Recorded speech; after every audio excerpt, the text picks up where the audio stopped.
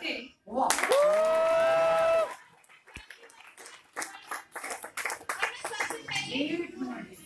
समझ ही नहीं पाए एक महीने में कितनी सेल्स करनी है दो। तो एक महीने में जो लड़की पंद्रह सेल्स कर चुकी है एप्रिसिएशन इतनी क्यों